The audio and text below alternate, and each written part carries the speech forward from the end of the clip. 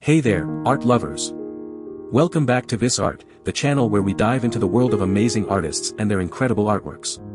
Today, we're going to explore the works of Cornelis van Poelenburgh, a Dutch landscape painter from the early 17th century. Let's start with Roman Ruins by Cornelis van Poelenburgh.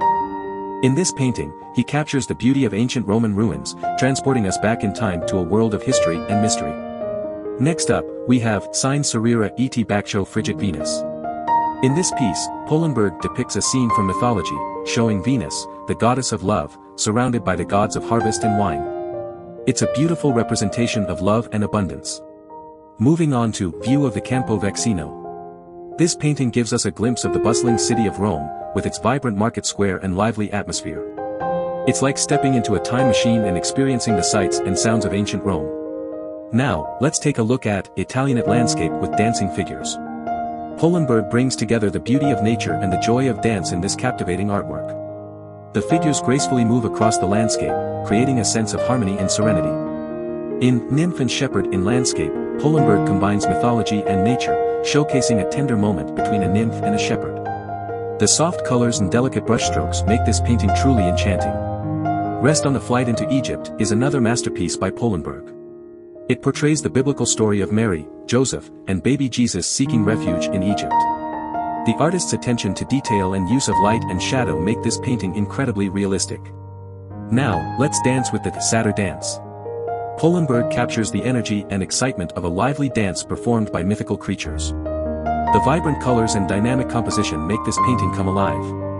In Valley with Ruins and Figures, Poelenburgh takes us on a journey through a picturesque landscape dotted with ancient ruins. The figures in the painting add a sense of scale and human presence to the scene. Moving on to Landscape with Diana and Callisto. This artwork tells the story of the goddess Diana and her nymph companion Callisto. Poelenburgh's skillful use of light and shadow creates a sense of drama and mystery. Amaryllis Giving Myrtle the Prize is a charming painting that depicts a scene from a pastoral love story.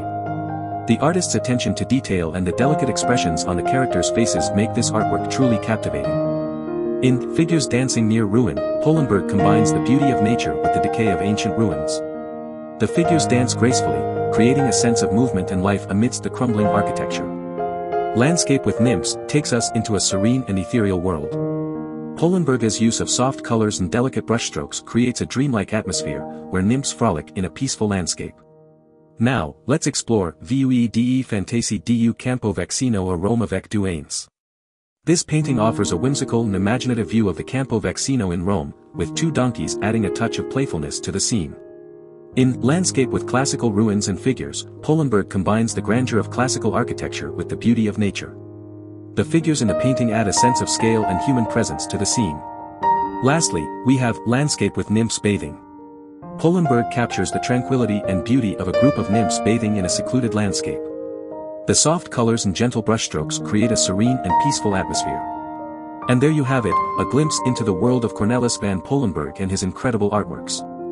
Stay tuned for more artist spotlights on Vis Art. Thanks for watching.